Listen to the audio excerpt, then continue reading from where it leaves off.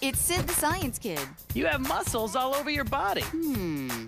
I think I'm gonna have to investigate this more at school. It's Sid the Science Kid, weekdays on PBS Kids, or watch anytime you want at pbskids.org. To dig up some more fun words and games, visit pbskids.org or check out your local library for the Martha Speaks books.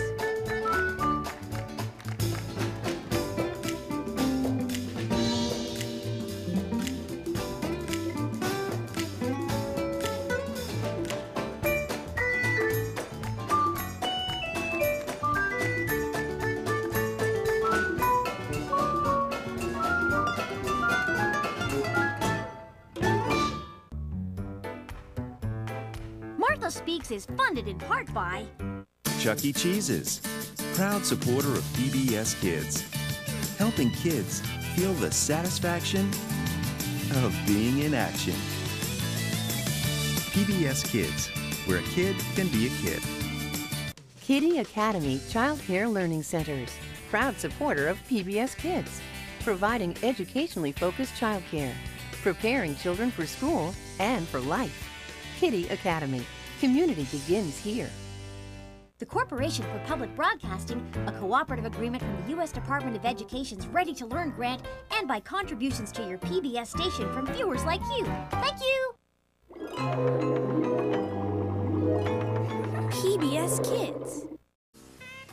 Oh, hi! Welcome to Sesame Street! Want to know how you can see more Sesame Street? Oh, she wants us to guess! I've got an idea. Yeah, just watch PBS Kids. You know what? I'll do it. And did you know it's on every weekday? Are you kidding, right? Not at all. And you can also see special scenes online. I would like that part best of all! You just gave me a great idea. Awesome! It's Sesame Street, weekdays on PBS Kids, or watch clips online at pbskids.org. PBS Kids is the place for curious kids. And Curious George. George, what are you doing? He wants to learn. He wants to grow.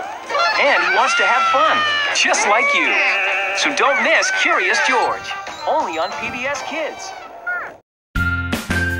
Log on to WYES.org to find out more about your favorite PBS Kids shows. What do you think about?